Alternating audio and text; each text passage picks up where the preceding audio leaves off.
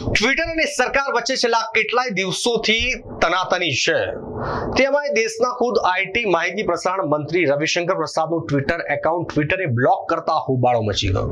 સૌ કોઈ આમાં સરકાર અને ટ્વિટર વચ્ચે દુશ્મની જોવા લાગ્યા છે. પણ આ મામલે નવો ફણગો ફૂટ્યો છે. રવિશંકરનું ટ્વિટર એકાઉન્ટ બ્લોક થવાનું કંઈક બીજું જ કારણ બહાર આવ્યું છે. અને કારણ એ છે કે સોની મ્યુઝિક રવિશંકર પ્રસાદનું ટ્વીટ પર સોની મ્યુઝિકે ફરિયાદ કરી હતી. આથી ટ્વિટરે કોપીરાઇટ એક્ટના ભંગને લઈને રવિશંકર પ્રસાદનું ટ્વિટર એકાઉન્ટ એક કલાક માટે બ્લોક કર્યું હતું. આ ટ્વિટર બે હજાર સત્તરનું છે, જેમાં વિજય દિવસના અવસરે રવિશંકર પ્રસાદે કંઈક લખ્યું હતું અને વીડિયો પોસ્ટ કર્યો. લિપિન નામની વેબસાઇટ આ પ્રકારના કોપીરાઇટ રિક્વેસ્ટ પર નજર રાખે છે. તેથી એક કલાક માટે ટ્વિટર એકાઉન્ટ બ્લોક કરાયું હતું.